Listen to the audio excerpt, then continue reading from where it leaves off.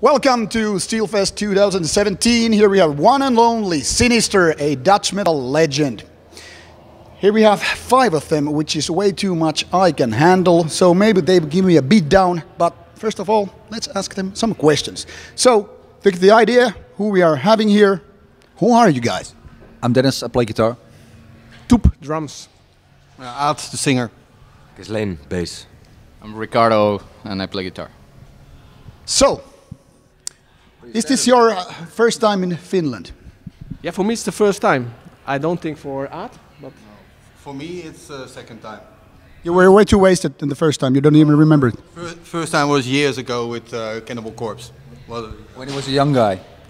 But, but for me, it's also the first time. when I had hair on every spot.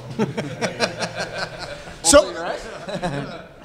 so does death metal, playing death metal, does it make you old or young? Well, I'm 50, so I think young. Yeah, you look like 30. So, yeah. Do, Thank you. do, do, do you get a lot of young groupies? Uh, yes. Is that a positive thing? is this broadcasted in Holland? Uh, we can cut it off. okay. Because he's married. Nobody gives a shit. No, I have a beautiful wife. Yeah, you said some family greetings. Yeah, yeah, yeah. And, and two beautiful girls, my daughters. So Hey, this is not a family show. We don't care about your family. 700 girlfriends. that's why I blocked my Facebook. So, what is Sinister uh, lineup 2017? I mean, like, you have had a lot of changes during the years. How has that impacted on the band as, I mean, in general? Who wants to go? Um, I'm the only one from the beginning, so um, yeah, I think um, how do you say it, it uh, didn't have too much impact on the music. I think, of course, like when you have new guitar players, of, of course they have their own idea with writing music. So every time, of course, it's a little bit different, but I think it's still sinister. I think so. It doesn't have too much impact. Might even get better and better. Yeah, if I for, can say for- so. yeah, I think it's um, we are now making more the music that I that I, that me and the band like. So I think yeah, it's only better, going better. So there's not really some negative stuff for me. No. Okay. In Finland, we have the saying that when you change your car to a newer car, it obviously is better, runs be- faster, smoother, and stuff. But same same saying applies to women as well. Do you think this applies to uh, switching band members? Uh, yeah, sometimes it is and sometimes not. Like uh, a lot of members, they start always really fanatic and nothing is a problem and blah blah. But then they find out after some time that it's not only fun, but uh, also that you have to work really hard for being in a band. So yeah. So yeah, and then uh, some people stay and uh, a lot of people go. And not it's not only because of fights or, but it's a lot of time that they cannot handle the traveling or stuff like this. So Yeah, you have to. But this, this band is really, yeah, I think we all have the noses in the same direction. So everybody wants to play as much as possible, and that's and it, it's well, Yeah. since we've been with the band, it's never been so good as, as it, it's it's been now. So you're a really intact group right now. Yeah. It- Yeah. It's all about energy, and if you're outbalanced because of obligations of work or wife or other things in life you want to do, eh, then yeah, you have to choose. Can, can I be in the band as Sinister because that means something? Uh, rehearsal, flying all over the world, making CDs. So it takes a lot of time, and if it's not, if it's not possible, yeah, then then you have to choose otherwise, and that's a normal process. What happens also in in uh, Sinister, but like Napalm Death, Sepultura, I don't know. Uh, name all bands. It's a, it's a normal process of a band, and of course you want to be better and better if you take new people in the band. It's it's about priorities, and I think for all five of us, Sinner's the, our main priority. That's that's how we can cut it short. Do you do you afford to have uh, any side projects to, you know, cr- create uh, variations to the Sinister band or any other stuff? doing. I'm doing some side projects, but Sinister is my main band, so it's on the side. Actually, how we ended up playing with Sinister was because we did a side project with uh, with Aad called Absurd Universe, and actually the whole side project became Sinister when the other guys left Sinister. So, uh, and we're still here. So uh, yeah, I think it's good. Aad, Aad does a lot of guest vocals on on on, on other bands' CDs. Uh, Toep played in Carnival um, in um, uh, Can, can, Sing it. Sing it. Maybe rapid. Absurd Universe. no, the other one with uh, Roll it. Uh, Supreme Pain. Supreme Pain. So yeah, Uh, we know each other for a lot of time, so it's, it's not uh, really uh, strange that he asked me for drums. And I play with Dennis also for decades, so Yeah. it was not strange that we had this uh, setting. It's been a, quite a while since the debut album, Across the Styx. What is the secret of uh, Sinister to go for almost 30 years now? Uh, for me, it's that I uh, I'm a big fan of the of the extreme music, and I uh, yeah, I love to play with, the band. For me, it's not. It doesn't feel like uh, I don't know. For me, it's natural. It's okay. It's a part of my life. So for me, it feels always good, and I don't want to quit. So yeah, I say it's not a struggle or something. It's like I have fun with it. So I think, and then it's easy to go on. So, why death metal? Let's bring you in because you've been all the way silent. Why death metal? Did death metal choose you or did you choose death metal? Well, that's a difficult question. Now I started listening uh, metal since I'm seven, um, and death metal since I'm 14, and I love playing. I love the difficulty of playing it, and I think it's the most uh, aggressive music that uh, I can put it out. What I'm what I'm feeling in the in the instrument, uh, the composition, everything is, is perfect. The the way the way it's done, you know. Uh, it's extreme, it's good, uh, it's powerful, uh, it's technical. Um, I studied many years guitar, so I, I couldn't find um, this feeling in other genres of music. Like when I played also uh, just metal or just uh, power metal or this kind of stuff when I was learning the guitar, it was just, yeah, you, you don't feel the, the same thing, you know. All right. When it comes to lyrics, who wants to answer this one? You. So, what are the ideas and uh, stuff that gets your uh, writing uh, pen going on? The, the previous CD was a concept about the post-apocalyptic uh, uh, servant. Uh, it was time after thousand years, and, uh, and then all kind of stories happen. It was just an idea I had for a, for a long time, and I, I asked Aad, uh, "Do you mind if I play some lyrics? Because uh, yeah, maybe it's, it's something to, uh, a vocalist has to do." And he said, "No, no, uh, go ahead, go ahead." So I wrote some lyrics, and uh, Aad said, "Oh, that's very cool." And no, I decided also to write the lyrics for the last record, Syncretism. It's more based on the uh, occ- occ- occultism and the, the old uh, yeah, lyrics, like maybe Cross the Styx was al- also more like black metal-ish lyrics. So yeah, it, it, it just went like this. But, it, but it's always like like we have an idea in which direction we want to go. ja, ja, dat was het woord. So, so do, do you have a problems or is it just cool to go with the older lyrics and, uh, and albums and stuff? Sorry, what do you mean? You mean the older albums, like previous uh, vocalists and stuff? Uh, I didn't write the lyrics, so I mean, do you have a problem going going with them? no, of course, you- not. no, no, no. Uh, obviously, we we prefer to play the songs that, that we recorded ourselves. But being sinister, you, ha- you it's impossible to, to, to don't play any older songs. You have to play some, some older songs for the for the older fans as well. So yeah, what we try to do is like uh, a mix. a good mix, yeah.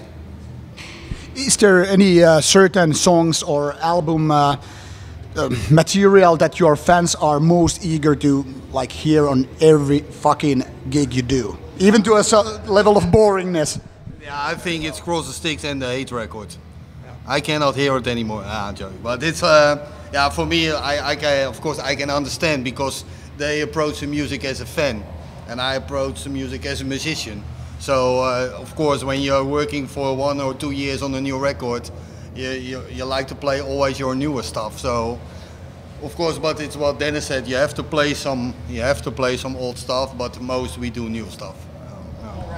So uh, let's get to a bit to a more serious side now that we are dying, done with all the laughing and stuff. let's, let's pose then. Yeah, yeah. Let's make grim faces. Uh, the political climate in the extreme metal side. it has got, uh, gone bad with many of the black metal bands, but it obviously touches many of the death metal bands as well.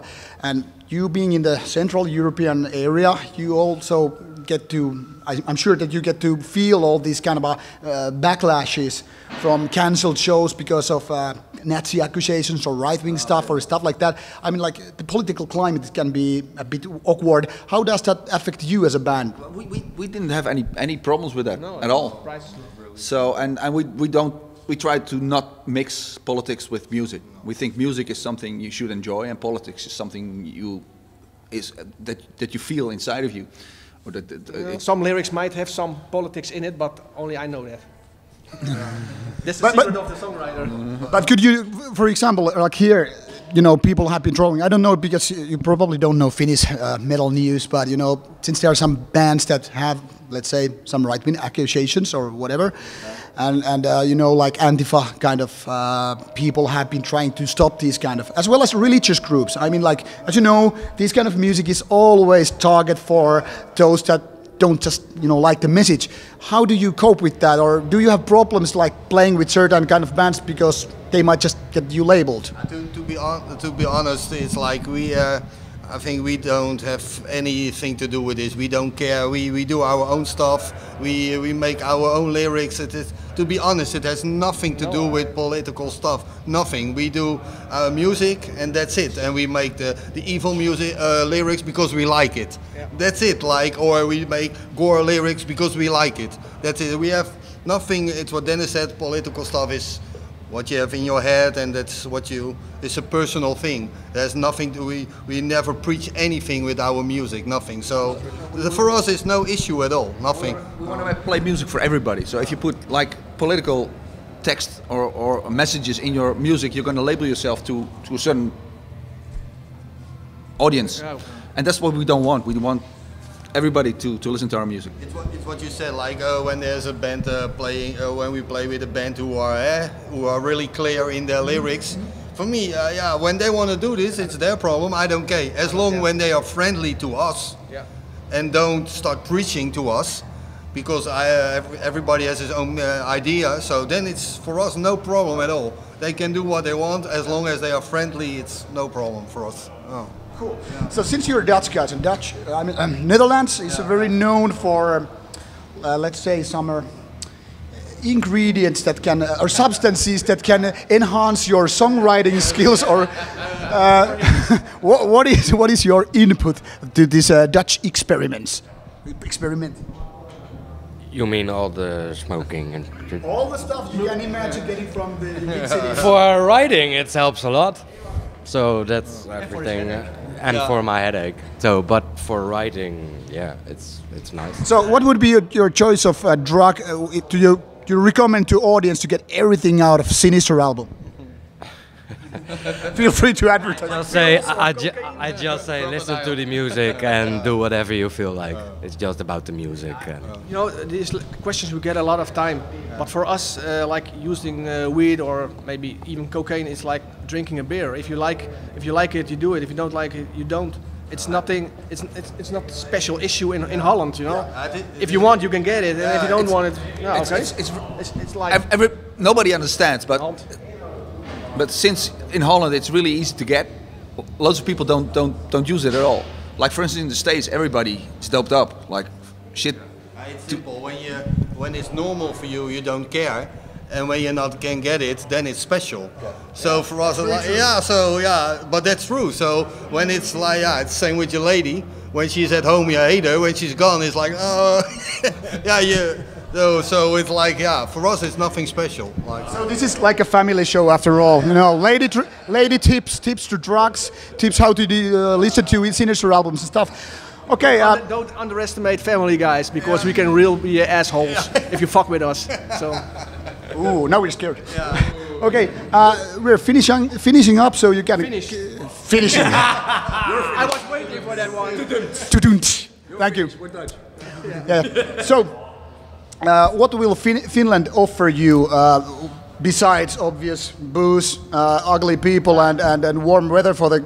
Are you going to uh, experiment with sauna or Finnish I don't know what. I know we were from the from the from the airport. We were going to the hotel, from the hotel to here, and then playing, and then go back. And tomorrow morning or tomorrow evening we have a plane again. So I think there's not much to sightseeing for I've us. seen, I've seen, I've seen them all.